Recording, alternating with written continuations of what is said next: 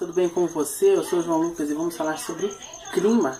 E choveu na tarde desta quarta-feira, hoje, aqui na capital morena. E essa chuva deixou alguns rastros de estragos. No bairro Tiradentes, por exemplo, nós vamos mostrar imagens que a lagoa Itatiaia transbordou. Vamos ver nas imagens? Com a chuva, as ruas próximas à Lagoa Itatiaia fica, ficaram inundadas. Na imagem, este motorista deste carro desafiou toda esta água e tentou atravessar.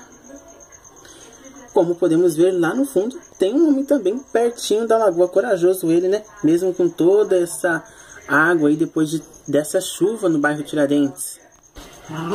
E com, a grande, com, com toda essa chuva, claro, as ruas ficaram inundadas. Segundo o meteorologista Natália Abraão, foram 23 minutos de chuva na tarde desta quarta-feira na capital. E no bairro Tiradentes foram registrados quase 19 milímetros de chuva.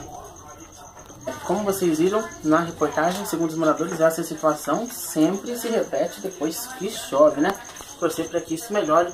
Nova gestão da prefeitura, tomara que esses problemas acabem. Outras informações na página. Tchau, até a próxima.